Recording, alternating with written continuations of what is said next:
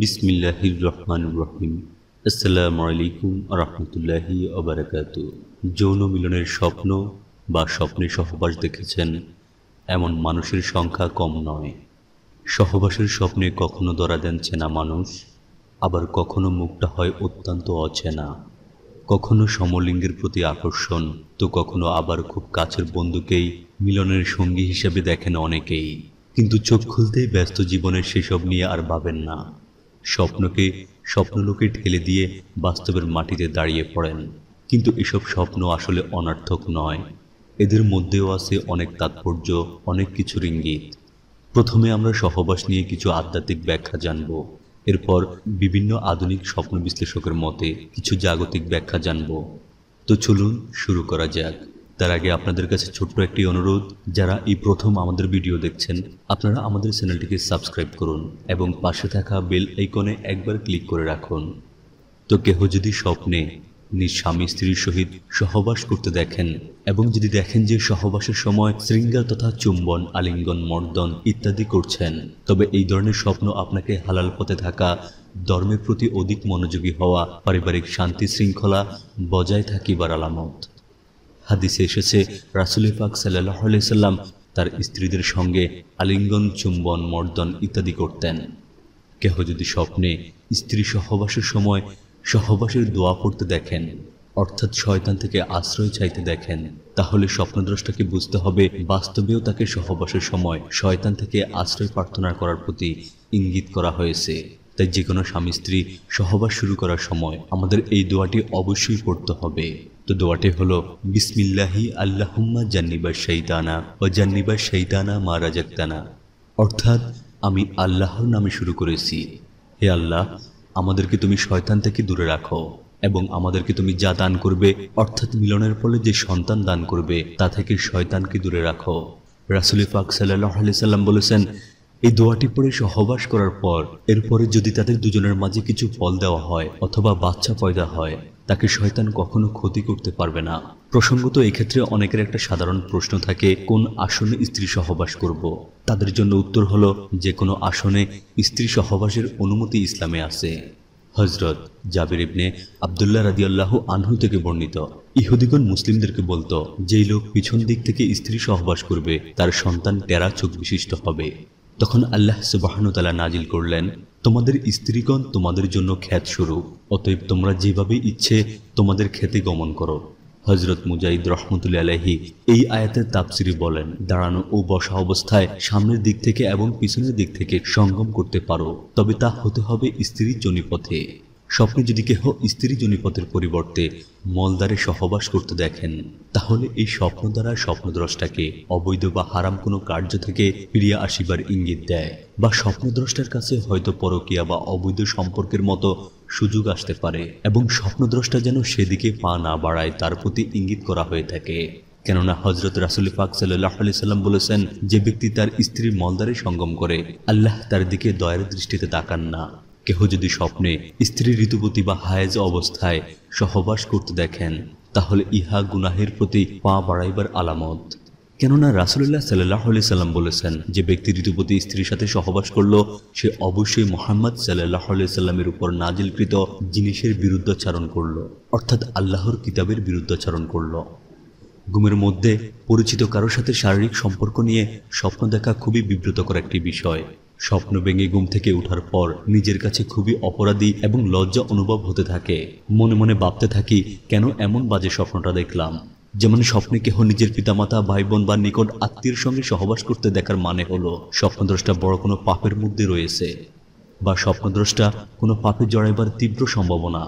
অথবা স্বপ্নদ্রষ্টা বা তার পরিবারের কেহ সুদী কাজ কারবারের সাথে জড়িত বুঝাইয়া থাকে। তাই স্বপ্নদ্রষ্টাকে সতর্কতা অর্থে এ থেকে ফিরে আসার নির্দেশ করা হয়ে থাকে। কেননা রাসুল সাল্লাহ সাল্লাম বলেছেন, সুদ খাওয়ার সত্তরটি গুনাহ রয়েছে। তার মধ্যে সবচেয়ে ছোট গুণা হলো আপন মায়ের সাথে জিনাহ করা। নাউজুবিল্লাহ স্বপ্নে কেহ কোনো সমলিঙ্গের সাথে সহবাস করা দেখাও। অধিক পাপাচারে লিপ্ত থাকার ইঙ্গিত। এবং তাহার উচিত শীঘ্রই সে পাপ থেকে ফিরে আসা। এখন আমরা আধুনিক বিশ্লেষকদের মতে কিছু জাগতিক ব্যাখ্যা সম্পর্কে জানব। স্বপ্নে কারও সঙ্গে যৌনতা বা ঘনিষ্ঠতা দেখলে বুঝবেন আপনি নিঃসঙ্গ বোধ করছেন।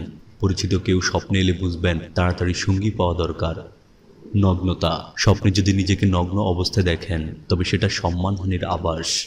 অন্য কাউকে স্বপ্নে নগ্ন দেখার মানে হলো আপনার কাছে তাহার সম্মানহানি হইবে। অচেনা ব্যক্তির সঙ্গে সহবাস। এমনটা হতেই পারে যে আপনি স্বপ্নে এমন এক ব্যক্তির সঙ্গে মিলনে লিপ্ত হয়েছেন, যিনি আপনার কাছে অনেক অচেনা। সেক্ষেত্রে খেয়াল রাখতে হবে সেই ব্যক্তির চারিত্রিক বৈশিষ্ট্য। তিনি যদি দুর্বল ব্যক্তি হন, তার মানে আপনার ব্যক্তিত্ব দুর্বল। আর কোনো সুঠাম পুরুষের সাথে সহবাস দেখার মানে হলো ব্যালেন্স রেখে বৃদ্ধি পাচ্ছে আপনার ব্যক্তিত্ব। দর্শন। সাধারণত মহিলাদের ক্ষেত্রে এই ধরনের স্বপ্নের কথা বেশি শোনা যায়। এখানে তাদের কথা বলা হচ্ছে, যাদের বাস্তব জীবনে দর্শনের মতো কোনো ভয়ঙ্কর পরিস্থিতির শিকার হতে হয়নি। ঘুমের মধ্যেই গাম হয়, অনেকের ঘুম ভেঙেও যায়। এমন স্বপ্নের অর্থ শারীরিক অথবা মানসিকভাবে ভেঙে পড়ছেন আপনি, তা সে যে কোনো কারণেই হতে পারে। অফিসের চাপ, বাড়ির চাপ, ঋণের চাপ, অপ্রত্যাশিত সন্তান জন্মের চাপের মতো ঘটনার কারণেও এই ধরনের স্বপ্ন দেখে থাকেন অনেকে। হতাশা, দুর্বলতা, ভয়, অপমানের মতো বিষয়গুলির জন্যও স্বপ্নে ঘুমের মধ্যে দর্শনের স্বপ্ন আসে। সাবেক স্ত্রী বা প্রাক্তনের সঙ্গে সেক্স। যৌনমিলনের স্বপ্নে এটি অত্যন্ত পরিচিত একটি রূপ।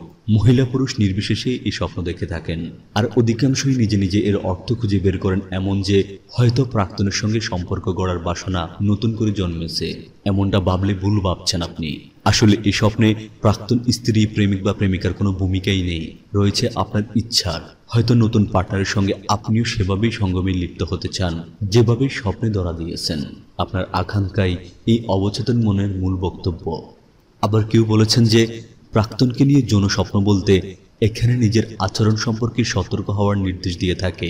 হতে পারে আপনার প্রাক্তনের সঙ্গে আপনার শারীরিক সম্পর্ক ছিল, কিন্তু যেহেতু সেই সম্পর্ক থেকে আপনারা দুজনেই বেরিয়ে এসেছেন, তাই সে নিয়ে আর না বাবাই উত্তম। এবং ধর্মীয় দিক থেকেও এটি হারাম এবং গর্হিত কাজ। সমলিঙ্গের সাথে সহবাস। খোলা চোখে বাস্তবে আপনি স্ট্রেট সমলিঙ্গের প্রতি একেবারেই আপনার জন্য আসক্তি নেই। তা সত্ত্বেও কাছের বন্ধু বা বান্ধবীর সঙ্গে মিলনের স্বপ্ন আপনাকে বিভ্রান্ত করেছে। নিজের ব্যক্তিত্ব নিয়ে বেশ চিন্তিত হয়ে পড়ছেন আপনি। এক্ষেত্রে ভয় পাওয়ার বা চিন্তা করার কোনো কারণ নেই। ভেবে দেখুন, যাকে নিয়ে এই স্বপ্নটি দেখলেন, সম্প্রতি তার কোনো কাজ বা স্বভাব আপনার মন ছুঁয়েছে কিনা। আপনিও হয়তো সেই কাজ করতে ইচ্ছুক অথবা একই চারিত্রিক বৈশিষ্ট্যের সন্ধানী। এই কারণেই এমন স্বপ্ন আসে অবচেতন মনে। অপছন্দ ব্যক্তির সাথে সহবাস। বাস্তবে হয়তো তাকে আপনি দুচোখেই দেখতে পারেন না। সাপে নেউলে সম্পর্ক। অথচ স্বপ্নে এমন অদ্ভুতভাবে ধরা দিল সে। এর অর্থ হতে পারে ওই মানুষটির সঙ্গে আপনি বিবাদ মিটিয়ে নিতে চান, ঝগড়া মিটিয়ে নিতে চান, অথবা তার কোনো একটি বিষয়কে আপনি হিংসে করেন, অথবা সেও কোনো একটি বিষয় নিয়ে আপনাকে হিংসে করে। তার চাকরিও হতে পারে বা সৌন্দর্য নিয়েও। সেলিব্রিটি বা বিখ্যাত লোকের সঙ্গে সহবাস, স্বপ্নের সিনেমার নায়ক নায়িকা বা বিখ্যাত কোনো ব্যক্তির সাথে সহবাস দেখার মানে হলো এর দুটি সংকেত হতে পারে। এক, হয়তো আপনি সত্যি জীবিত বিখ্যাত ব্যক্তিদের সঙ্গে মিলনে লিপ্ত হতে চান। হয়তো এদের নাম, যশ, খ্যাতি আপনাকে তীব্রভাবে আকর্ষণ করে। স্বপ্নের জীবজন্তুর সাথে সহবাস করার অর্থ হলো স্বপ্নদ্রষ্টা মানসিকভাবে স্বপ্নদ্রষ্টা মানসিকভাবে খুবই একা এবং দুর্বল হয়ে পড়েছেন। সেটা যে কোনো কারণেই হতে পারে। যারা এই প্রথম আমাদের ভিডিও দেখছেন, তারা আমাদের চ্যানেলটিকে সাবস্ক্রাইব করুন এবং পাশে থাকা বেল বাটনটি ক্লিক করে রাখুন। আর যারা ইতিমধ্যে সাবস্ক্রাইব করেছেন, তাদেরকে জানাই অন্তরের অন্তঃস্থল থেকে আন্তরিক শুভেচ্ছা। স্বপ্ন সম্পর্কে জানতে কমেন্ট করুন এবং ভিডিওটি শেয়ার করুন বেশি বেশি করে। এখন বোনাস হিসেবে আপনাদেরকে জানিয়ে রাখি, স্ত্রী সহবাসের সময় যে বিষয়গুলো খেয়াল রাখবেন, তা হলো সহবাসের প্রথমে দোয়া পড়বেন। স্ত্রী সহবাসের দোয়া হলো, বিসমিল্লাহি, আল্লাহুম্মা জান্নিবা শৈতানা ও জান্নিবা শৈতানা মারাজাক্তানা অর্থাৎ আল্লাহর নামে শুরু করেছি, হে আল্লাহ, আমাদেরকে তুমি শয়তান থেকে দূরে রাখো এবং আমাদেরকে তুমি যা দান করবে, অর্থাৎ মিলনের ফলে যে সন্তান দান করবে, তা থেকে শয়তানকে দূরে রাখো। তারপর স্ত্রীকে আলিঙ্গন করবেন। তখন বিসমিল্লাহির রহমানুর রহিম বলে সহবাস শুরু করবেন। সহবাস করার সময় নিজের স্ত্রীর রূপ দর্শন, শরীর স্পর্শন ও সহবাসের সুফলের প্রতি মনোনিবেশ করা ছাড়া অন্য কোনো সুন্দরী স্ত্রী লোকের, অন্য কোনো সুন্দরী সিনেমার নায়িকা বা অন্য কোনো সুন্দরী বালিকার রূপে কল্পনা করবেন না। স্ত্রী ব্যতীত অন্য কারোর সাথে মিলন সুখের চিন্তা করবেন না। স্ত্রীরও তাই করা উচিত। তখন উভয়ের মনের পূর্ণ আশা হবে সহবাস। রাত্রি দ্বিপ্রহরের আগে সহবাস না করাই ভালো। ফলবান গাছের নিচে স্ত্রী সহবাস করবেন না। স্ত্রীর মলদারে সহবাস করা নিষেধ। চন্দ্রমাসের প্রথম এবং পনেরো তারিখ রাতে স্ত্রী সহবাস এড়িয়ে যাওয়াই উত্তম। স্ত্রীর হায়েজ নেপাজের সময় বা উভয়ের অসুখের সময় সহবাস করবেন না। জহরে নামাজের পরে স্ত্রী সহবাস না করা ভালো। বরাপেটে স্ত্রী সহবাস না করা উত্তম। উল্টোভাবে স্ত্রী সহবাস না করাই উত্তম।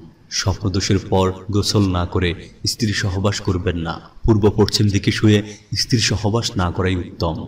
দূরে ভ্রমণকালে বা বিদেশ যাওয়ার আগের রাতে স্ত্রী সহবাস না করাই ভালো। স্ত্রী জরায়ু দিকে চেয়ে সহবাস করবেন না। অনেকের মতে ইহাতে চোখের জ্যোতি নষ্ট হয়ে যায়।